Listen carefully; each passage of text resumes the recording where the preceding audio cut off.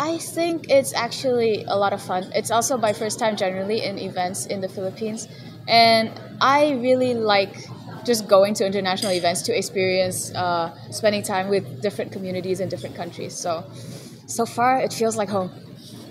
Yes. Yes, it feels like home. It's actually quite similar to Vietnamese events, so it feels it feels very comfy. feel very happy. See, the thing is, I have so far just been at the booth. I've been trying to walk around like after my work has ended, but then when I walk around, there's like no one, and I'm like, I'm so sad. But as I've like walking, have been walking like back and forth and whatnot for breaks. So uh, basically, as I've been going back and forth from uh, the break room and whatnot, I think a lot of people put a lot, a lot of effort into their costumes, and I'm very amazed. I'm walking by, I'm like, wow this this is awesome. yeah. I admire silently from afar from my booth. It's like, yeah, that's that's cool. Next year, perhaps you will be. Maybe there is something to look forward to. Maybe. Hell yeah. no, generally I just like going to events. I think it's a big part of why I'm cosplaying in general. I really like spending time with the community. Yes, so of course anywhere. Uh, okay, to start from the beginning, I do think that cosplay is not a cheap hobby. It is quite an expensive hobby. So I personally would tell you to do it when you are financially independent, um, at least. But I think cosplaying is just it's become more practical. It's become more common now than it has been before and the community is growing more and more and i'm honestly thinking that everything is becoming a lot more welcoming and a lot more available be it buying or making your costumes. So just take the first step do a character that you really like and improve from there. I think that's you just have to start from somewhere. That's all that matters. Springtrap Freddy's, there was there was one giant cosplayer with like the mechanics and the eyes were glowing. I walked by, I was like, "Am I hallucinating or am I seeing this in real life?" It was so well done. I loved it so much. Yeah, that cosplayer particularly. I didn't even have I didn't even have time to ask for a photo yet, so I'm regretting that very much. I'm like looking at my text. I'm like, "Hello, does anyone know who this cosplayer is? Can can I get some?" yeah. Oh, you know him. Can I get an information, please? yeah. yeah, yeah. I think uh, from what I've seen, everyone is very detailed and very meticulous, and a lot of effort goes into all of the cosplays. Even from the simple ones, you can see the small, small details that everyone has been putting effort into. The same goes for makeup and wig styling. I've seen a lot of impressive cosplays here. Oh, so from what I've seen, from what I've experienced so far, I think that the cosplay community in the Philippines is generally expanding very quickly. And I think that it's been one of the main cosplay communities before.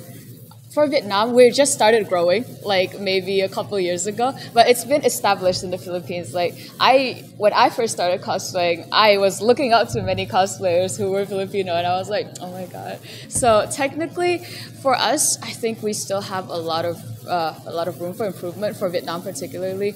And as I've been attending more international events, I've been thinking about. I was like, wow, okay, so this is what it's supposed to be like, especially the bigger events. And for uh, Filipino events, I think everything has been so far okay from what I can tell. I don't think there is any room for criticism for me yet there's so far I've, I've been enjoying it. So far I'm like, okay, this everything has been so much fun. What local food I've tried? I've tried the grilled pork. It was so good. Oh my god. We it was the first day that we got here. We tried the pork that was like grilled with the very crispy skin. Yeah, it was the first day we got here, and I had this like very tight fitting cosplay for Saturday, and I, I was eating, and as I was eating, I was like worried. I was like, oh, will I fit tomorrow? I was like, eating and stressing, and then eating more. I was like, it was so good. And then we had the uh, mango with the sauce, with shrimp paste sauce and everything yesterday. And it, it was beautiful. I think I'm to buy it home. It was an experience. The more I had it, the more I wanted to eat it. I was like, oh my God, okay. Keep me here. I actually started doing cosplay when I was quite young. It was let's see i i was saving up like breakfast money for that stuff yeah uh, i did it since i was in middle school like the end of middle school till now i'm in university and i'd say it's actually quite fun I've met a lot of people with common interests. Otherwise, I would not have made friends.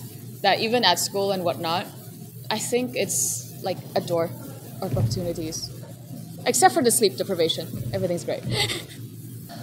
oh, so if you are considering being a professional at cosplaying, you have to decide for yourself whether which direction you're going to take, whether it be more of social media, more of photography, which which is something that you're focusing on particularly, whether it be competition or guesting and whatnot. So for each, I guess their own. There's different things that you have to focus on, whether it be competitions, whether it be guesting, whether it be just you know enjoying the process, just cosplaying. So I think a lot of it comes from experience and as well as networking. Yes, so go to a lot of events, make a lot of memories, and you'll just be paid for the hard work that you work for. See, I will always tell people go to school. I fully, completely support going to school. No, um, if you are not in a position right now to cosplay, don't stress yourself out for it. Cosplay will not go anywhere. You can do it when you are more comfortable with your time, with your mental health, with everything that's going on, even your financial situation. Don't feel the need that you have to do it like right now. You have to like chase after others. You have to keep up. It's really not that serious.